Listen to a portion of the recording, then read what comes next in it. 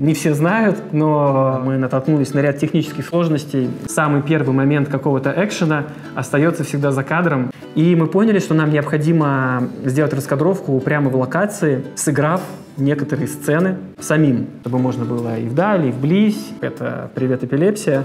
В общем, вот такая вот особенность съемки. Это деревня Призрак, Верхние Броды, где произошло самое загадочное событие за последние несколько лет. Меня зовут Татьяна Блок, и это мое журналистское расследование. Всем привет, меня зовут Андрей Шевкера, я режиссер всех серий сериала «Тайны пропавшей деревни». Иви любезно пригласила меня э, рассказать вам о сериале, о том, как мы к нему готовились, как мы его снимали и какие интересные, необычные истории происходили во время съемок данного сериала.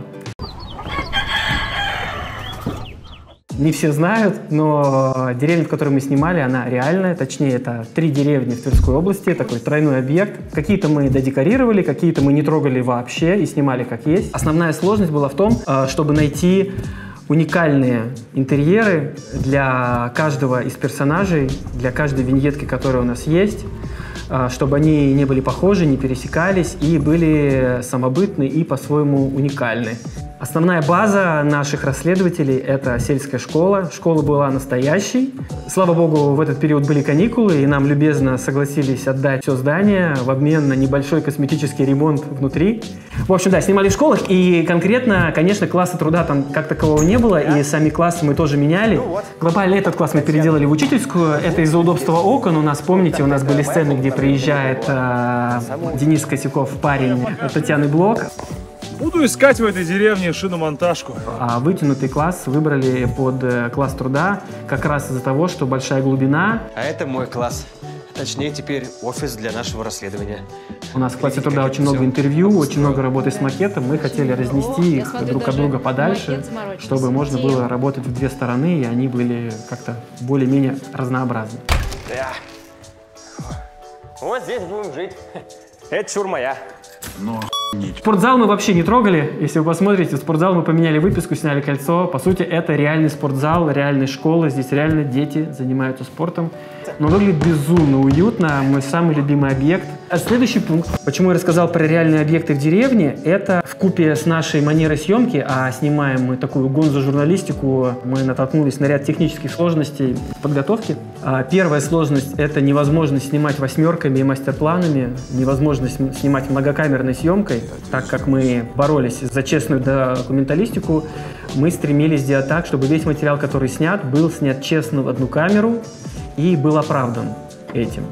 Отсюда идет и работа с внутрикадровым монтажом, работа с невидимыми склейками, работа э, с психологией операторской камеры. Самый первый момент какого-то экшена остается всегда за кадром, если он только не перед вами происходит. Таким образом, у нас есть около трех недель на расследование, чтобы понять и разобраться, куда. Тимофей, Татьяна, не отвлекайтесь, пойдемте. Вот от таких вот приемов, выработав такую хореографию камеры, внутрикадровую компоновку, кадрирование, мы пришли к тому, что невозможно нарисовать раскадровку заранее, не, не находясь внутри объекта. Невозможно даже по фотографиям четко понять, э, как работает камера внутри длинной сцены, которая длится там полторы минуты или даже 40 секунд, но за эти 40 секунд к нам ходит какой-то персонаж, мы видим какой-то объект, звучит какая-то шутка, мы должны увидеть реакцию другого персонажа, заявить всю мизансцену и так далее. И все это должно быть в каком-то неком монтажном ритме, только ритм бесклеечный, внутрикадровый монтаж. И мы поняли, что нам необходимо сделать раскадровку прямо в локации, сыграв некоторые сцены самим. Наш первый день мы прибыли на станцию Добрый день. Может, все-таки насильник? Камеру? Мы поехали э, заранее, по-моему, за 10 дней, за 2 недели на объекты. И небольшой творческой группой вместе с операторами, с монтажером, потому что он должен был быть в курсе, что мы снимаем и как это будет монтироваться с соседними сценами. Мы буквально на телефон отсняли основные сцены сериала. Вспышка, она ушла там под воду, Татьяна оборачивайся. Это очень сильно нам помогло уже в момент съемки, когда оператор и камермен и монтажер, и второй режиссер, э, и художник знали, какие кадры мы снимаем, в какие направления, э, могли заранее это все подготовить, и э, дублей технических мы очень мало придумывали по съемке. Мы почти все придумали на подготовительном периоде, и во время съемки, ну, добавлялись какие-то нюансы, либо какие-то фишки, но мы точно не тратили время на мозговой штурм и снимали больше дублей.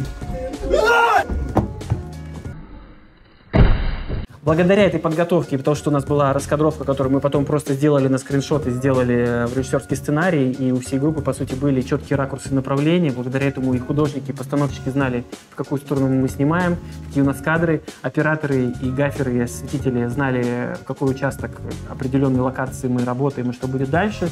И это очень сильно ускорило наш процесс. Вот. Сама, сам процесс съемки был достаточно за- занимательный, мы достаточно весело провели время. Хватит снимать Тарантино несчастный! Хватит! Куда? Что случилось? Олег, помогите! Они все сумасшедшие! Они все психи! Как будто бы такой наш небольшой лайфхак, э, как снимать документальное кино по раскадровке. Вот, наверное, это главный тезис. Вот, такое срежиссированное документальное кино. Вторая особенность подготовки и съемки м, журналистского такого мокюментари – это, конечно же, техника, на которой это снимается. Мы работаем в пересеченной местности, в узких, э, небольших избах. Это всегда либо замкнутые пространства, либо огромные площади каких-то зарослей, кустов, ям, канав. Если, если бы реальные журналисты поехали, они бы взяли с собой какой-то минимальный удобный хандикам с каким-то большим фокусным расстоянием, э, диапазоном, чтобы можно было и вдаль, и вблизь, и все это минимально, легко, облегченно, на аккумуляторах и так далее.